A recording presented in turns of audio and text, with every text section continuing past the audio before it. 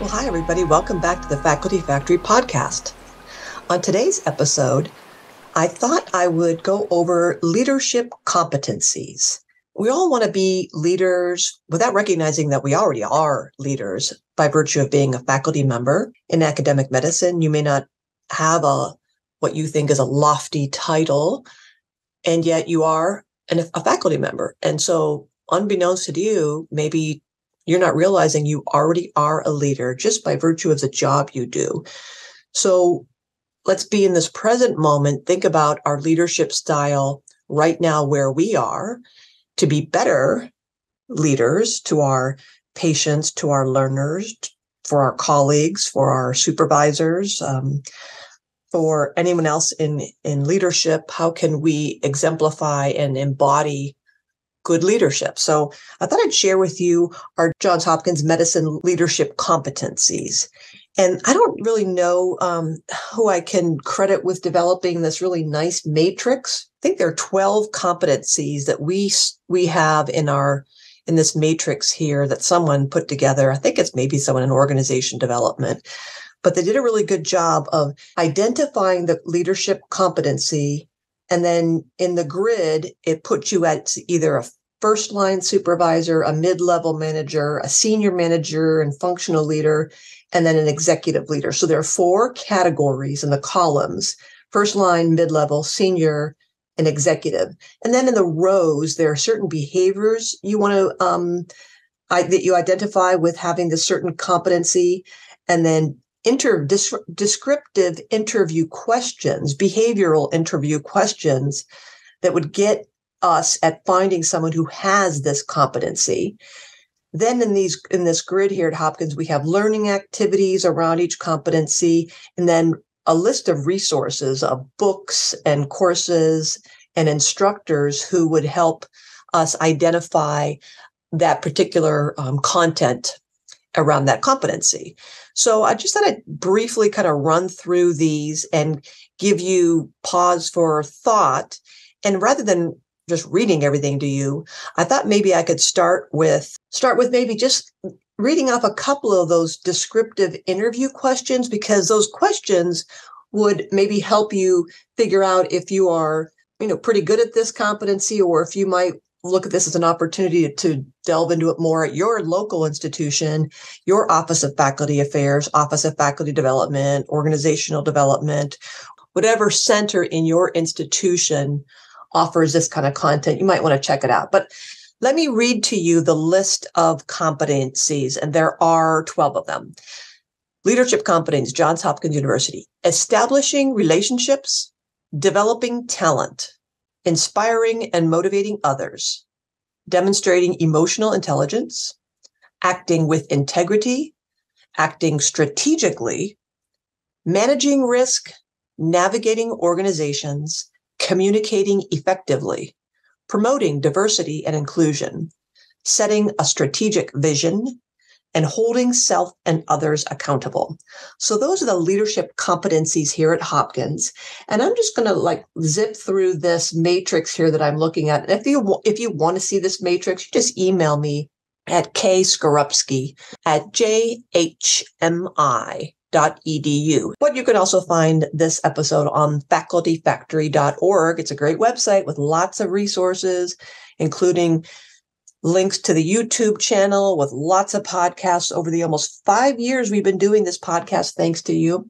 So here we go. It's, I'm going to start with the first competency establishing relationships. Let me tell you what we think that competency is builds effective networks, working relationships, and alliances with a broad range of stakeholders, both internal and external, in order to collaborate effectively within divisions and across boundaries, can relate to all kinds of people regardless of background, find topics and common interests that they can use to build rapport with others. So some of the questions if you're on a job interview or if you're being sought out for a leadership position in your institution, some behavioral interview questions you might come across as say, I'll, I'll read a couple in the mid-level manager range for establishing relationships. Give an example of how you work constructively with peers to solve a major problem. Tell us about the most difficult challenge you faced in trying to work cooperatively with someone who did not share the same ideas. What was your role in achieving this? And maybe one or two questions under the senior managers and functional leader category.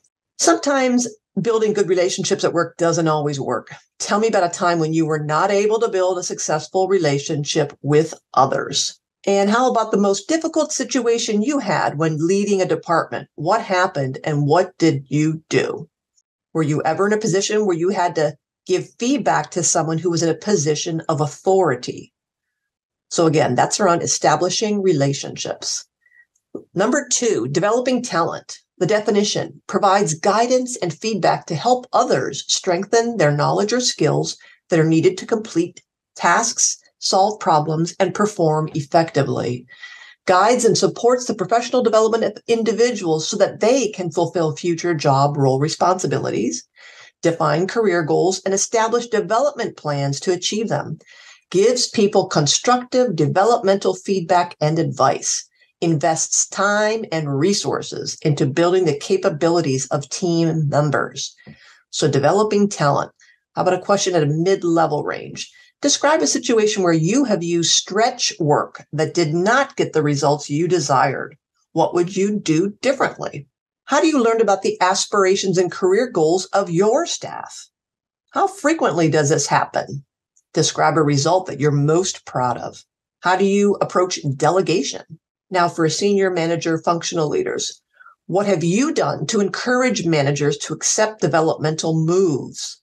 What's been your biggest mistake in developing talent within your group? What happened? How did you deal with it?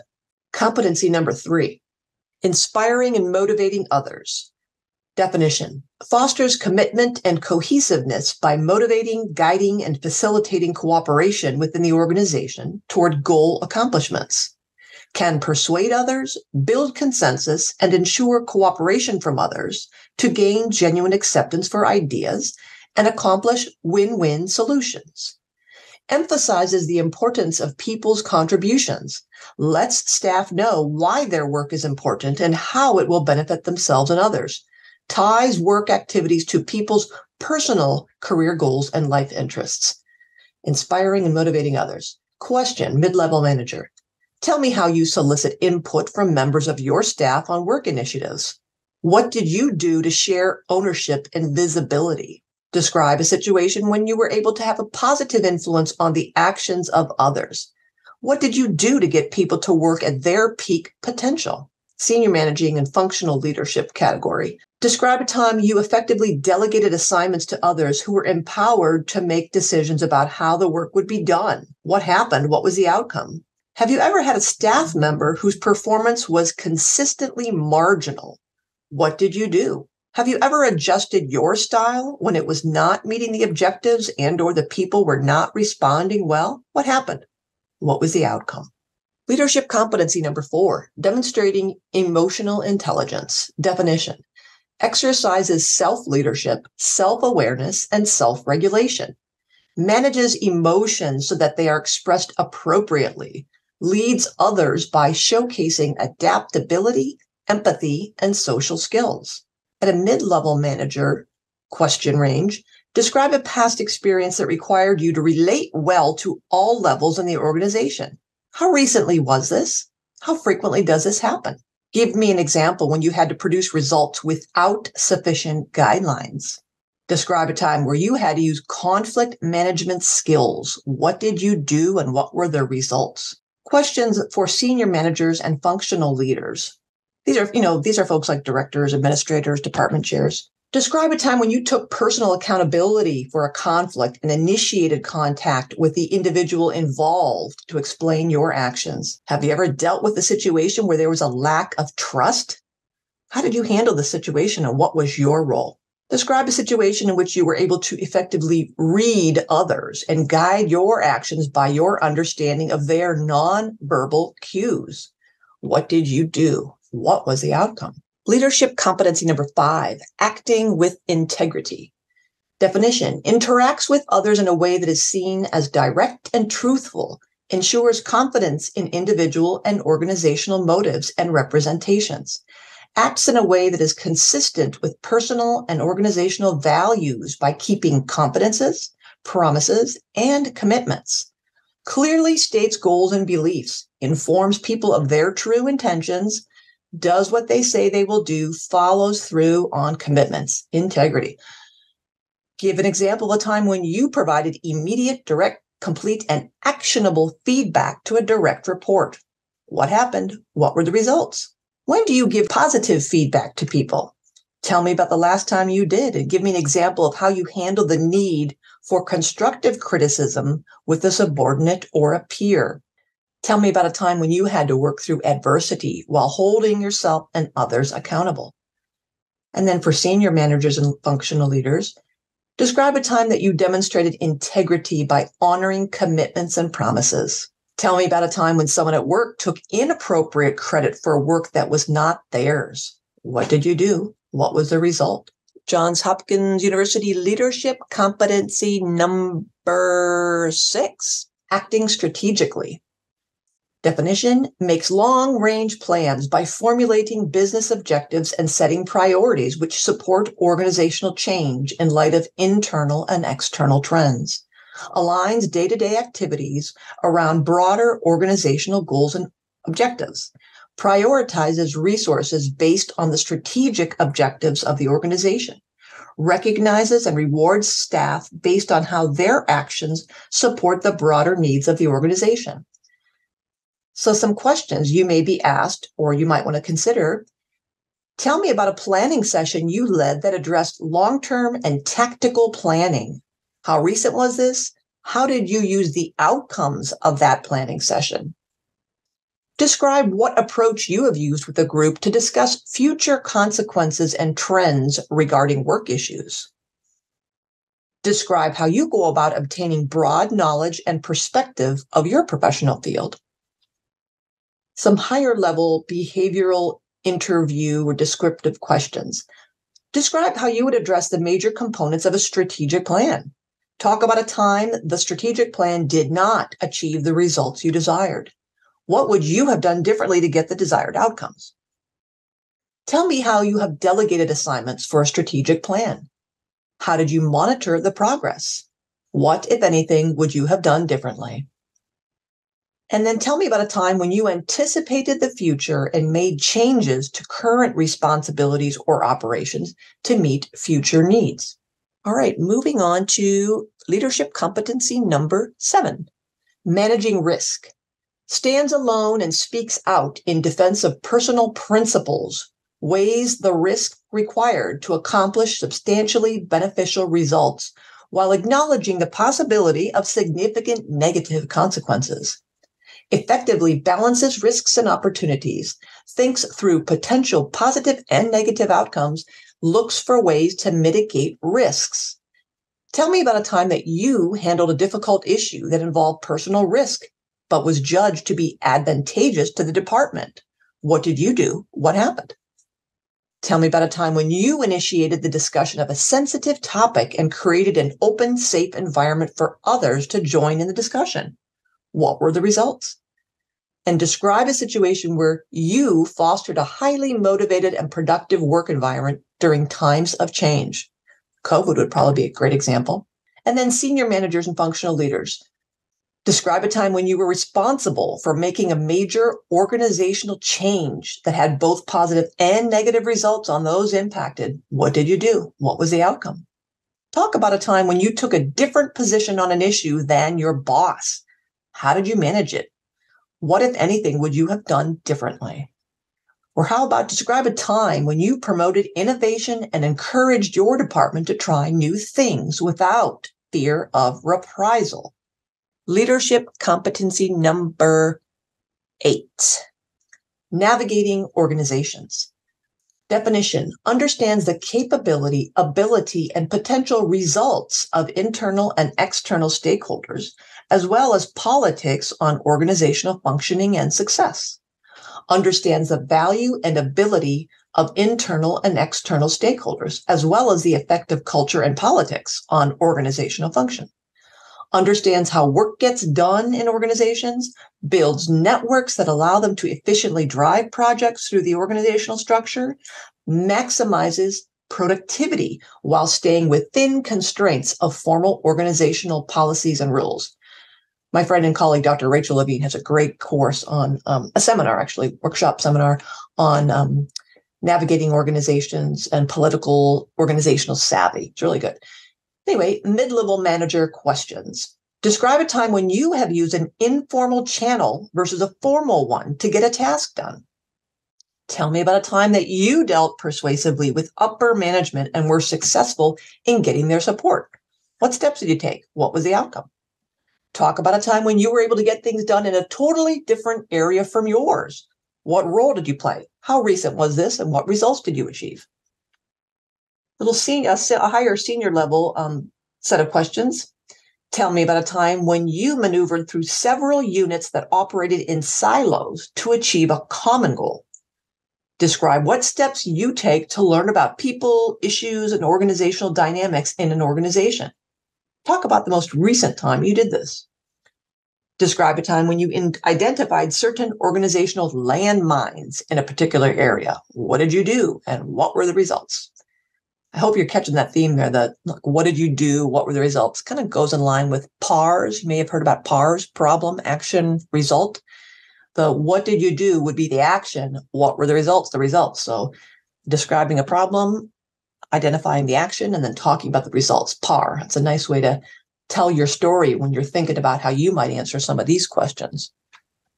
I think we're on leadership competency nine, communicating effectively speaks and writes clearly, conveys information in a concise, organized, and logical manner, is adept at tailoring the message to fit the interests and needs of the audience, listens attentively and exercises tact, discretion, and diplomacy when interacting with members of the organization and stakeholders. What do you do to keep stakeholders, for example, staff, customers, other units, informed of important decisions concerning work situations? How frequently does this occur?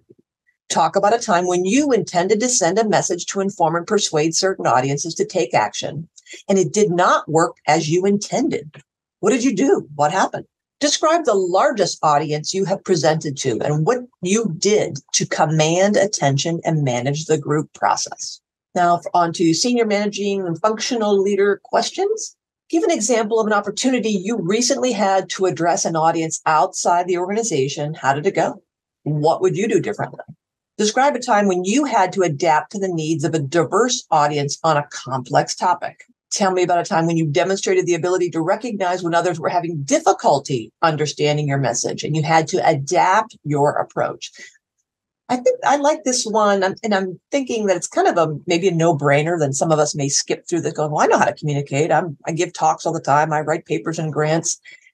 But that last question, you know, let me repeat. That's the segment that I was thinking. When when you gauge that others are having difficulty understanding your message, or maybe your audience is different from you thought or prepared for, and you have to pivot, that's good communication, is not just jumping up to a podium or getting on a Zoom and zipping through your, your slides without understanding the intention. Like, what is the intention? You intend to communicate this this theory or this principle or these data results or this practice pattern, but the impact is actually different. How do you have the capacity to read that and then pivot? That's communicating effectively. And now I think we're on 10, leadership competency number 10, promoting diversity and inclusion. Treats all people with dignity and respect by being fair and consistent demonstrates an open minded approach to understanding people regardless of their gender, age, race, national origin, religion, ethnicity, disability status, or other characteristics. Challenges bias and intolerance. Develops all inclusive groups and the realms of social interaction and communication. Shows respect for beliefs and traditions of others. Encourages and promotes practices that support cultural diversity discourages behaviors or practices that may be perceived as unfair, biased, or critical toward people with certain backgrounds. I love reading this because I always remind our faculty in our courses that this document is at least five years old. So it's a little bit ahead of all the uh, more recent um, diversity, equity, inclusion efforts, which are super important, but I, it's nice to see that many of our institutions were kind of way ahead of this. So, some questions. Describe what steps you have taken to support and encourage open discussions regarding diversity and inclusion within your work area. Tell me about a time when you have proactively worked with the diversity program to develop and implement effective recruitment, retention, leadership, promotion, any kind of program that increased diversity and improved organizational performance. What did you do? Talk about the results. Talk about a time that you implemented a program, any kind of program or training to promote the understanding of and appreciation of differences. Senior managers and functional leaders. Tell us about how you hold others accountable for ensuring equality and diversity. What role do you play? How often do you do this? Tell me about a time when you assured that systems were in place to have reasonable accommodations for individual differences to ensure the full potential of persons with disabilities. Tell me about a time when you developed goals and plans for recruiting, selecting, developing, retaining a diverse, high quality workforce. What happened? Johns Hopkins University Leadership Competency number 11, setting a strategic vision acts as a catalyst for organizational change by building a shared vision with others, which ensures alignment of the organization's vision, strategic plan, mission, and values, influences others to translate vision into action, identifies and articulates the strategic goals and direction of the organization, division, or group, and establishes connections between short term goals and long term goals. Mid level managers Describe how you have contributed to the strategic planning process. What input did you provide? How was the input used? Tell me about a time you created milestones and symbols, but were unsuccessful in creating support behind the vision. What happened? What did you learn? Describe a time when your actions and words inspired and motivated an entire work group. What was the situation? What were the results? Senior managers and functional leaders Tell me about a time you used information from program, financial, and performance measures in strategic thinking and planning. What steps did you use? What were the results? Describe a time when you successfully inspired others inside and outside your department to establish a shared vision. What was the situation? What did you do and what was the outcome? Hey, you're hearing a lot about what, do you, what did you do, right? What did you do? So uh, sounds like leaders do things, right? We take action and then we document our results, what happened. And then the final leadership competency here at Johns Hopkins is holding self and others accountable. Definition sets clear performance expectations and objectives for self and others, evaluates work performance and provides feedback to others, recommends proper training and coaching when appropriate, ensures recognition for positive results, and takes corrective actions to resolve performance problems as appropriate. Describe the steps that you've taken to define and communicate performance expectations to your employees. What were the steps? What was the outcome? Describe a time that you have delegated tasks and special projects to match the knowledge, skills, and experience of your staff. What was the situation? What did you do? What was the result? Senior managers and functional leaders, give us a specific example of how you have empowered your staff to make independent decisions. What did you do? What was the outcome? I like this one as well, holding self and others accountable, just because it, what popped in my head was matching that question of tell us a time when you matched the knowledge, skills, and experiences of your staff to a project. That's why it's so important with the emotional intelligence, intelligence um, framework that Daniel Goleman proposed way back when, that emotional intelligence, different from in IQ, this is EQ, is that knowledge of self leads to better management of self and then knowing which will then lead you to knowing others better and then managing those relationships better so i'll say there's like four four quadrants here knowing myself then i can better manage myself knowing others so i can better manage those relationships and that is so helpful when you intend to match your staff's knowledge skills attitudes behaviors with appropriate jobs. That entails you having to get to know them, understanding their strengths, and then giving some, them some stretch projects that, that they want to develop to grow their own capacity in your division or your department or your office. So lots to learn here. I, I think we're going to do another episode on emotional intelligence, and I hope you check that out as well.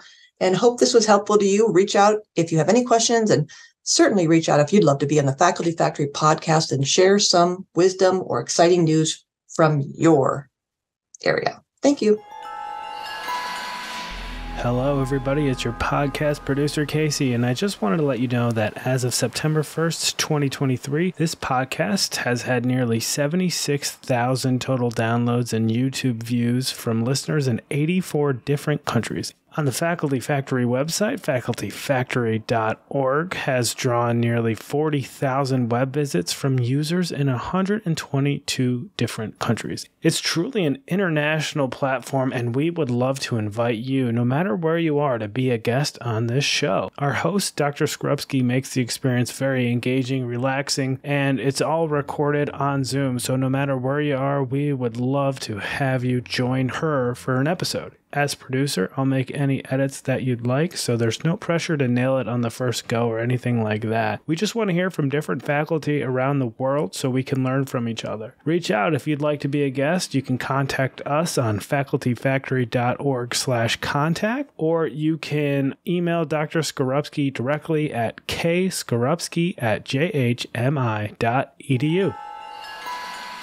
Thanks for tuning in to Faculty Factory Podcast. The mission of the Faculty Factory is to build and support a community of leaders in faculty development who share tools, resources, wisdom, and encouragement in service to our faculty members, schools, and institutions. We encourage you to go to facultyfactory.org to find out more. Get in touch with me, ask me any questions. Maybe you want to be interviewed on the podcast. Thanks for tuning in to Faculty Factory Podcast. We'll see you next time. The Faculty Factory podcast and website is sponsored by the Johns Hopkins University School of Medicine Office of Faculty. For more information, visit facultyfactory.org.